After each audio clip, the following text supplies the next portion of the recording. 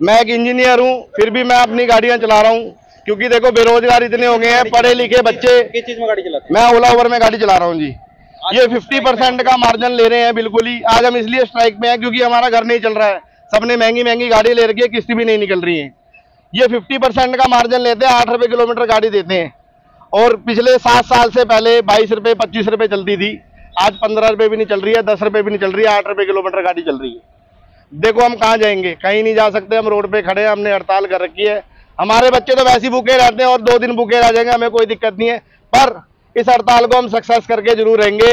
सरकार हमारी सुने, हम सरकार के साथ है, पर सरकार हमारे साथ बिल्कुल भी नहीं दे रही है। बिल्कुल गरीब मार कर रखी है। क्या कहूँ मैं, गाड़ियाँ इतनी रोड पे हो गई हैं, पर ड्राइवर कुछ नहीं कर सकता, ना ड्राइवर का कोई भी नहीं है। कोई ड्राइवर का नहीं है, ना कोई सरकार है, ना कुछ है। ड्राइवर खुद खाता है और खुद कमाता है। जो जितनी भी गाड़ी आपकी चल रही है जितने भी ओला उबर जो आप लोग की है इनके लोगों से बात हुई कंपनी के लोगों से कि, कि हमारी मांग जो है उसको पूरा करो? नहीं सुनते हैं सर सुनते ही नहीं है सुनते ही नहीं है। कंपनी का कोई सुनता ही नहीं है। हमारे पास कोई रात को मिस हैपनिंग भी हो जाती है हमारे पास तो पहली बात तो कोई हेल्पलाइन नंबर ही नहीं है। हमारे पास कोई हेल्पलाइन नंबर नहीं है किसी का कोई ड्राइवर का ट्रेजिडी हो जाती है किसी ड्राइवर का लूटपाट हो जाती है। वो ड्राइवर किसके पास जाएगा किसी के पास नहीं जा सकता वो बेचारा अपने घर आ जाता है ना उसकी ना कोई पुलिस वाले सुनते ना कोई उसके जिसकी हम गाड़ियाँ चलाते हैं एग्रीगेटर एग्रीगेटर कंपनी में गाड़ियाँ चलाते हैं ना वो सुनती है ओला के पास तो अपना हेल्पलाइन नंबर भी नहीं है वो मैं आपको सामने दिखा भी सकता हूँ है भाइयों किसी के पास किसी के पास नहीं है है मांग हमारी ये है हमारा रेट बढ़ाए जाए और एग्रीगेटर कंपनी को ये करना पड़ेगा नहीं तो हम रोड पे आई हैं और रोड पे बैठे रहेंगे। अभी तो दो दिन की हड़ताल है क्या पता है दस दिन तक जा सकती है प्राइवेट गाड़ियाँ बंद प्राइवेट गाड़ियाँ बंद हो ओला रैपिडो इन ड्राइव के अंदर प्राइवेट गाड़ियाँ खुद एग्रीगेटर कंपनी अटैच करके चलवा रही है। अभी हमने दिल्ली नंबर गाड़ी पकड़ी थी वो भी प्राइवेट नंबर उबर के अंदर चल रही थी वो भी एग्रीगेटर कंपनी ने खुद अटैच कर रखी है वो गाड़ी। पुलिस के वो पुलिस के हवाले हमने गाड़ी कर दी है। हम ओला ओला उबर में चलाते हैं ऐप के थ्रू गाड़ी। हमें कोई मार्जिन नहीं मिलता किसी चीज़ का। और उसमें जो हमें जो रेट मिलता है उसमें भी पाँच परसेंट टैक्स काटता है। और हम कभी इंटरसिटी उठा दें वो कस्टमर जो राइट डालता है जहाँ तक कि उससे अदर जाता है तो हमें उसका भी एक एक रुपया भी नहीं मिलता इंटरसिटी का। और वहाँ से भी हमें कोई मार्जिन नहीं मिलता। उससे कम मार्जिन देता है। इंटरसिटी तो हमें बिल्कुल भी नहीं मिलता हमको। और वहाँ से ड्यूटी भी नहीं मिलती है। परेशानी क्या हो जाती है ऐसे में? वहाँ से तो बिल्कुल यहाँ से तो बिल्कुल वहाँ से तो रेट मिलते ही नहीं है। वो आठ रुपये पर किलोमीटर के हिसाब से देता है।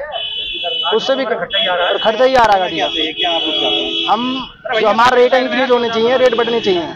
जो हमारी सरकार का अठारह, उन्नीस, बीस जो भी चल रहा है, वो हमें मिलना चाहिए। स्ट्राइक हाँ करेंगे जी, बिल्कुल। दो दिन उससे भी ज़्यादा भी रहेंगे। जब तक हमारा कोई सोल्यूशन नहीं निकलेगा। हमारी सबसे बड़ी वजह ये है कि ड्राइवर को कोई रेट नहीं मिल रहा। आठ रुपए किलोमीटर में विदेशी गाड़ी चलती है। उसमें कोई भी ड्राइवर की सिक्योरिटी नहीं है। आठ रुपये किलोमीटर में एक ऑटो नहीं जाता। ऑटो भी अगर आप लोकल रूट में बुक करते हो, कम से कम भी दो सौ रुपये लेता है। हमारी गाड़ी यहाँ से जाएगी, आप दो किलोमीटर चले जाइए, अस्सी रुपये में देगा। कैसे हम बच्चे पालेंगे और कैसे हम गाड़ी को किस्त निकालेंगे? महीने के जो, महीने का जो मेंटेनेंस होता है, गाड़ी का हर महीने सर्विस आ जाती है। साढ़े तीन हज़ार किलोमीटर के बाद चार हज़ार की सर्विस हमारी, बताइए क्या करेंगे? कंपनियों ने इतनी हालत खराब कर रखी है ओला उबर रैपिडो और इनड्राइव इनड्राइव सबसे गंदी कंपनी है। इसने इतने रेट गिराए हुए हैं कि जिससे ड्राइवर का ना तो कोई खर्चा निकलता है। ना अपने बच्चे पाल पाल पा रहे हैं ढंग से। आज दिल्ली में काली पीली टैक्सी का रेट है सत्रह से अठारह रुपए किलोमीटर। एयरपोर्ट से चलती है नॉन एसी और हमारी गाड़ी अगर चलती है तो हमारी गाड़ी कम से कम भी आठ रुपए किलोमीटर में चल रही है। कैसे गाड़ी का खर्चा निकलेगा बताइए आप? तो हम ये हम ये चाहते हैं कि हमारा रेट बढ़े, ड्राइवरों की सिक्योरिटी हो और ये कंपनियों की जो मनमानी है वो खत्म हो। अगर कोई भी कस्टमर तीन राइड कैंसिल कर देता है हमारा अकाउंट एक घंटे के लिए होल्ड हो जाता है। हमें खर्चा नहीं निकालना दिन का। हम कैसे निकालेंगे? एक एक हफ़्ते के लिए होल्ड हो जाता है, बताइए। गाड़ी की हर महीने आ जाती है। बैंक वाला तो नहीं मानेगा बिल्कुल भी। बैंक वाला तो किस काटेगा ही काटेगा। तो कैसे करेंगे बताइए? ये जो गिरगिर कंपनियाँ है इनकी सारी की सारी मनमानी खत्म होनी चाहिए। जितनी भी ये मनमानी की हुई है ड्राइवर की सिक्योरिटी चाहिए और हमें कम से कम बेस फेयर जो हमारा है कौन कौन सी कंपनी जो सबसे ज़्यादा रेट कम ओला है उबर है इनड्राइव और रेपिडो है। ये चारों कंपनियाँ हैं। मोस्टली जो इनड्राइव उबर में और ओला में और इन ड्राइव में मोस्टली प्राइवेट गाड़ियाँ चल रही हैं। टैक्स भर रहे हैं हम रोड टैक्स भर रहे हैं हम। सारा खर्चा हम उठा रहे हैं गवर्नमेंट का। मज़े ये लोग ले रहे हैं। क्यों? सरकार इस पर क्यों नहीं करती वो चीज़? सरकार इनको क्यों नहीं रोकती? हमें जो अपना रेट चाहिए कम से कम भी सत्रह रुपए किलोमीटर चाहिए। मिनिमम। सरकार के पास मोटा पैसा था मिनिमम है सत्रह रुपए किलोमीटर चाहिए ही चाहिए हर हालत में। जब तक ये स्ट्राइक बिल्कुल भी नहीं रुकेगी सत्रह रुपए किलोमीटर में चाहिए ड्राइवरों की सिक्योरिटी चाहिए और अननेसेसरी जो कस्टमर कंप्लेन करता था दोनों साइड के पक्षों की सुनने के बावजूद ही आप ड्राइवर पे एक्शन लीजिए।